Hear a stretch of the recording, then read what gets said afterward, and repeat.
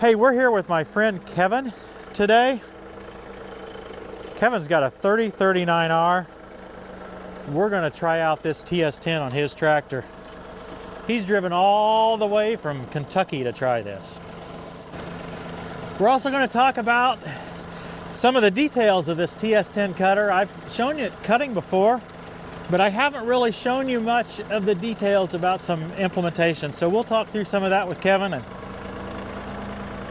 I think you guys will find it interesting too. Let's get started.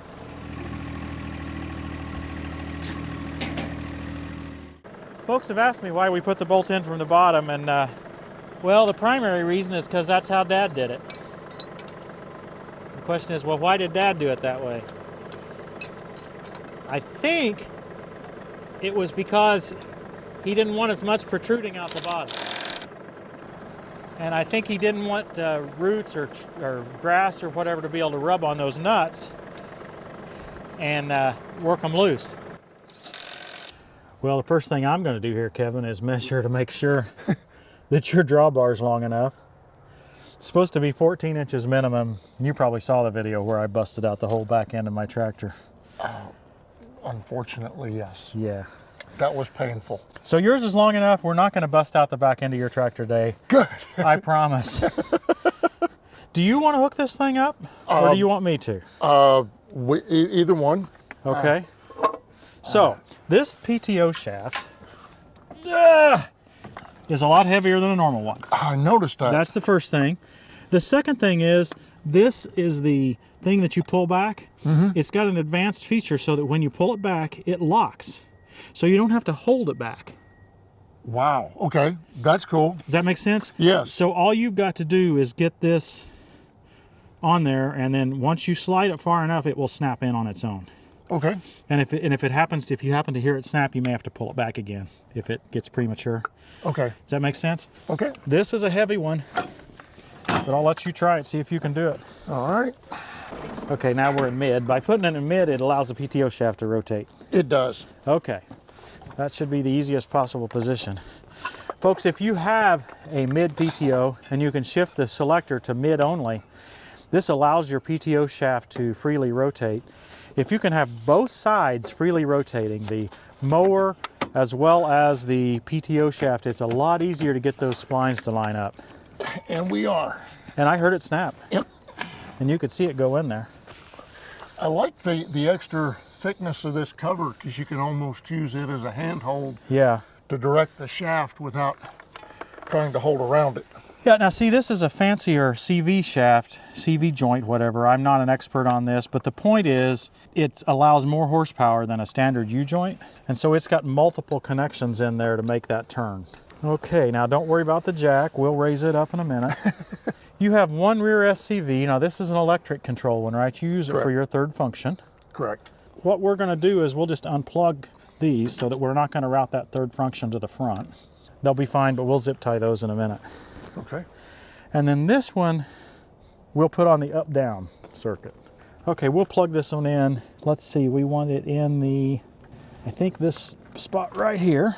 Now we're left with one more hose and we don't have any more outlets. There's, uh, if, if you buy one of these units, Kevin, you can get it such that it shares one SCV for, both both, lift and raise. Okay. And the way that works is, is it raises all the way up, and then once it gets raised all the way up, then it then it starts to fold the wings. Okay. I have it since I have two SCVs. I have it configured so you use a separate SCV to do the wings and the raise lower. Okay. And so what I thought we would do, after I got the rocks off of this, what I thought we'd do is use an extension hose that I've got from discounthydraulichose.com, by the way. Okay. 5% off with coupon code TTWT. Uh, hydraulic hose to go to your front SCV, and we'll just run it across the floorboard since it's temporary, right? That'll be fine. Let me find that. Now, I'm not exactly sure which one we need to be in, so let's try that. Okay. First, try your third function up. Yeah, the top side. Hey, that's perfect. That one worked right then. Okay. Down, up. Okay, now try pulling that way on your stick. Look at that. We got both of them right. First time. First try. Wow. Okay. Now, I want you to, when we're actually mowing, to run that in the float position. Okay. And that lets the wings float. Okay. That's why I wanted to hook it to the to this one, because this is the one of your joystick that has float, right? You don't have really a float on the left Float right. on the curl set. Okay. Kevin, I thought maybe it'd be worthwhile to go through just some of the unique features of this particular flex wing because I, I drove a, a multi-spindle mower the other day and I, I guess I hadn't operated any other brands or, or just any other models and I immediately saw a few things that I had taken for granted. I assumed every flex wing had and this one doesn't. So the main thing that I want to talk about is this rod that goes from the back, from the wheels back there, see, from that axle, Okay. all the way to the front here to the drawbar. Now, the one I drove the other day, the drawbar was a fixed height. So when you raised the mower, the back end of the mower came up and the front end just moved a little bit. Okay. This one with this rod, as you raise the mower, that rod gets pulled that way and the tongue turns downward. So this mower will stay level. Oh. as you throughout the throughout the range of travel, raise and lower. Nice feature. It's a nice feature. It's a really nice feature. What we're going to have to do is because the drawbar is lower on this than on Johnny 5, we will have to adjust that rod. I believe we will have to shorten that rod to pick up the front end a little bit, right? Because Okay. because Johnny 5 would hold the front up higher on its own. So that's the first thing we're going to have to do. Now, while we're here, though, we might talk about a few other features. People would kind of say, "Hey, this this mower is really expensive." You know, I mean, it's a lot more than a single spindle mower. But I wanted to show you a little bit why, right? I mean, we got this huge gearbox here in the middle, right, that splits it three ways. We've got um, slip clutches on all three segments here.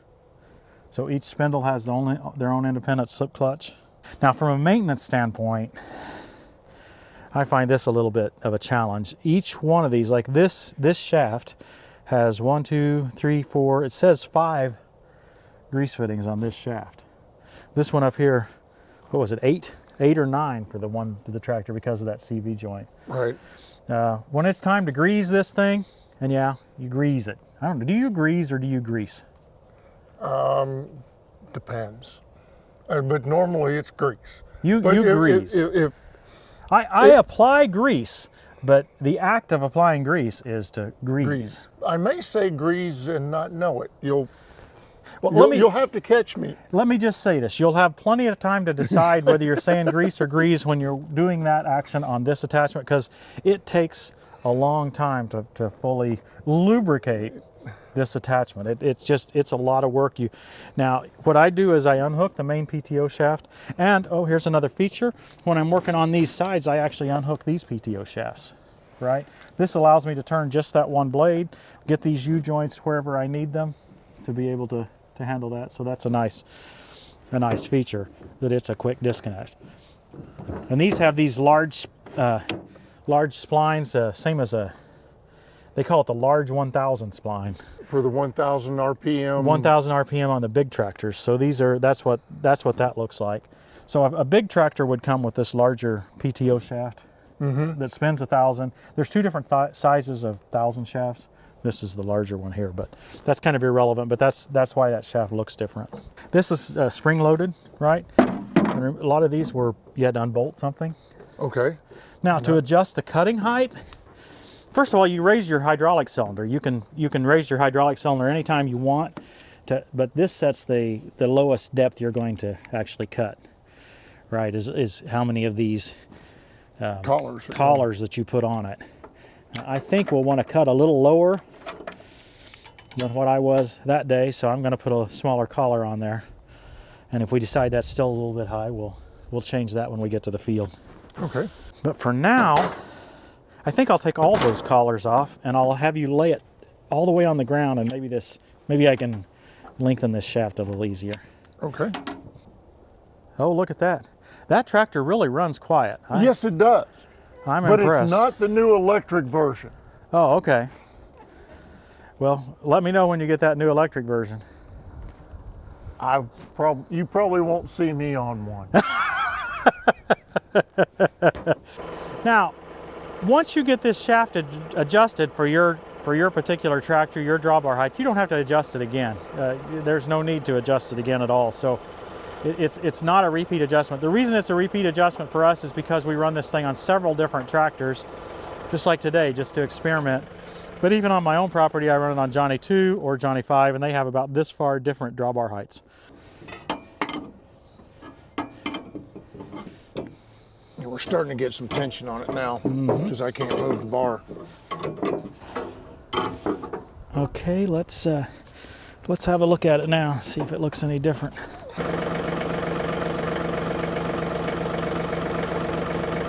Oh, that's looking better. At least Comes it up picked, quite a bit higher now. at least it picked the jack up off the ground, huh? One piece of advice before we get out in the field: don't turn it too short. Right? Okay. That they say that CV joint can be broken if we turn it too short. All right. What is too short? I don't exactly know, and I won't know until we break it. Um, but one Let's thing I not would try that theory today, though. use use this for a guide.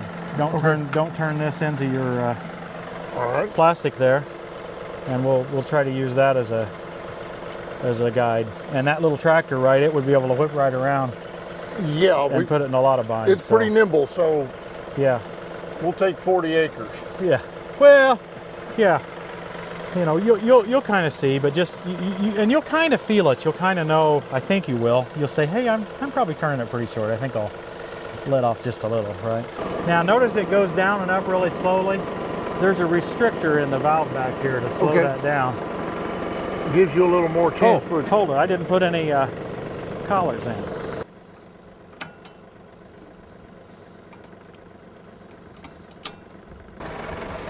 That's too low, isn't it? Let's go up. Okay.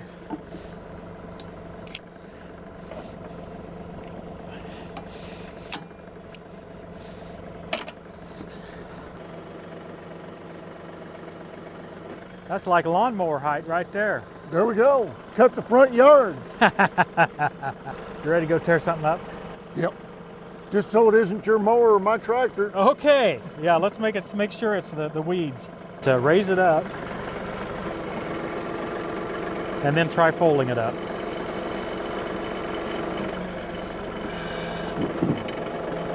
There's no restrictor on this. Do we need to go all the way up? Yep. Okay. Now, when you're transporting it, one thing you notice with this little 10 foot cutter, those wheels that are left on the ground are Right. not very far apart. So it's it's kind of tipsy, right? Okay. I'm glad that I got all four wheels down there, but uh, uh, on a bigger mower, they're able to spread out more. But see, each blade is just over three feet, like three and a third foot wide, right? That's all each blade cuts. So And it's it's narrow as the tractor, narrow. maybe even more narrow than the Yeah. tractor. Yeah. Yeah, I mean, it, it really folds up nice. A couple other features, Kevin, on this particular mower. First, these, uh, they call them rhino tracks. I mean, that's kind of a gimmick, but these are foam filled.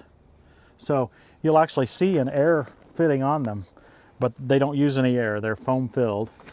and th- they feel like these are better tires, or better, yeah, better tires than the flaps. You know, the flap wheels that Okay. you see yes. on the. But they- like on my cutter. yeah, most most uh, most cutters have the flap wheels, and this one has that as I think an entry level option. But these this is an upgraded option, and the other option here that we've got is these two inner tires right here. It only comes by default with the standard with the uh, two outside tires here. I, I don't know. I, I like having all four of them down there, but I don't know if that's a, an absolute requirement or not. Well, the one thing you mentioned earlier is this mower has more lift as opposed to the single spindle cutter like I currently have. Yeah, cutting I, lift. I, I leave that track in, especially the tail wheel leaves that track in the in the field after Yeah. you're done cutting. yeah. And you see, th- this one has enough lift that it cuts out those tracks. Well, well, you know, you, you can try to prove that statement or not. My assertion is, guys, you, you can check this out, and, we, and we'll have Kevin look when we get to the field here in just a second. But my assertion is that this mower will cre- create more suction and will pick up those, uh, the, the brush and the grass that gets knocked down by the tractor tires. Whereas a single spindle mower, those get knocked down and maybe one side kind of gets picked up a little bit, the right side, but the left side, it just hits it down more, right? And I don't think you'll see that here. Let's go check it out. Okay.